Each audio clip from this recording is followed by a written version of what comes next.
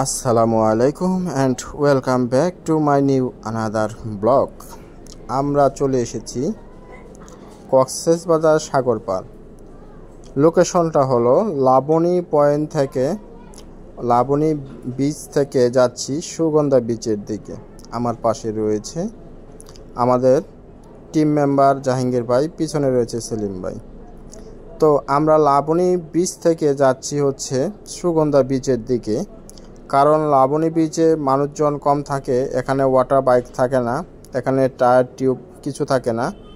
যার জন্য এখানে মানুষও কম হয়, আর আমরা সেটা পছন্দ করি না, আমরা যাচ্ছি সুগন্ধা বিচে ওখানে সব কিছু পাওয়া যায়। তো বিষয়টা হলো, যারা একাকিত্ব বা ভিড়, লোকজন কম পছন্দ করেন, তাদের জন্য কিন্তু লাবণী বীজটাই হচ্ছে বেস্ট আর ওই যে দেখা যাচ্ছে ওই মাথায় ওটা সুগন্ধা বীজ। প্রায় এক কিলোর মতো হাঁটা লাগে। তো আমরা কিন্তু সাগর পাড় থেকে হেঁটে হেঁটে যাচ্ছি। দেখতে পাচ্ছেন আমাদের কি কেমন রোদ এখানে। আমাদের যে ছায়াটা সেটা বালির উপর পড়ে গেছে। বালি অনেক গরম। তো আস্তে আস্তে করে কিন্তু আমরা তিনজন লাবণী পয়েন্ট থেকে আমরা যাচ্ছি সুগন্ধা পয়েন্টে। কারণ হচ্ছে আমরা ওখানে ডুবাডুবি করব, ঝাপাঝাপি করব, রাইডস করব, মজা করব। আমরা কিন্তু সবাই হাফ প্যান্ট পরে আসছি যদিও হাফ প্যান্টটা এখন দেখাচ্ছি না, পরের ব্লগে দেখাবো। তো সামনের ক্যামেরা দিয়ে ভিডিওটা করা হচ্ছে, যার জন্য এরকম এলোমেলো বা লাড়াচাড়া করা হচ্ছে নরচর দেখা যাচ্ছে।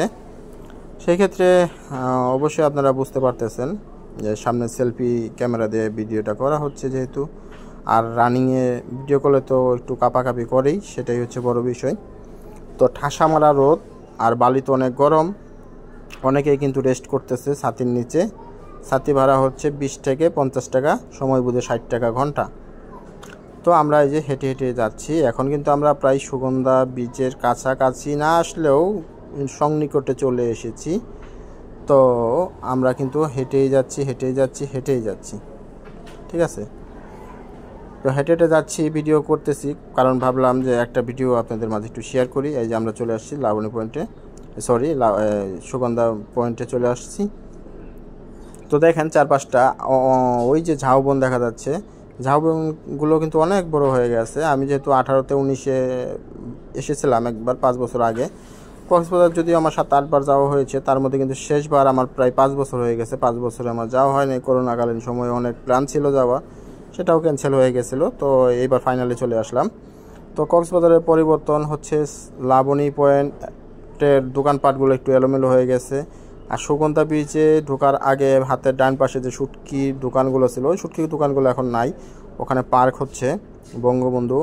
আর এখানে যেহেতু আমরা একুশে ফেব্রুয়ারিতে এসেছি, দুই হাজার চব্বিশ, একুশে ফেব্রুয়ারি দুই হাজার চব্বিশ থেকে এই সুগন্ধা বীজ কিন্তু বঙ্গবন্ধু বীজ নামে ঘোষণা দেওয়া হয়েছে। তো আজ থেকে এটা বঙ্গবন্ধু বীজ নামেই কনভার্ট করা হয়েছে।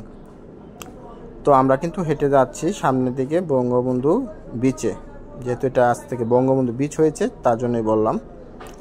তো দেখতে পাচ্ছেন এখানে অনেক ছেলে মেয়েরা আছে, ওখানে মানুষ আছে। এখানে কিন্তু অনেক গানের শুটিং হয় সিনেমার শুটিংও আমরা অনেক শুটিং টুটিং দেখে থাকি এখানে।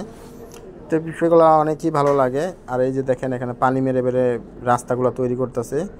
কিন্তু এখনও আমরা গোসলের জন্য নামা নামবো না, নামবার একটু পর আমরা যাব লকারে লকারে গিয়ে কিছু মাল রাখব। এখানে দেখেন পুলিশ বাহিনী আছে। পুলিশের সার্জেন যারা ওনা, ওনারা মিটিং করতেছে যে মানে বীজ সম্পর্কে যা যা বলা লাগে বা করণীয় যাদের, সেগুলো বুঝিয়ে দিচ্ছে।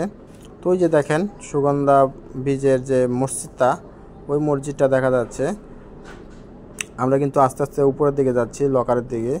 ওখানে লকারে কিছু মাল আছে আমাদের কাছে, যেমন মোবাইল ইত্যাদি টাকা পয়সা, এগুলো লকারে আমরা রাখব। রাইখা ওইখান থেকে আমরা ড্রেস চেঞ্জ করে তারপর আমরা সাগরে ঠাস ঠাস করে নেমে পড়ব। এখানে কিন্তু বালির উপর রয়েছে বালি রাইডস আসসালামু আলাইকুম, সবাই ভালো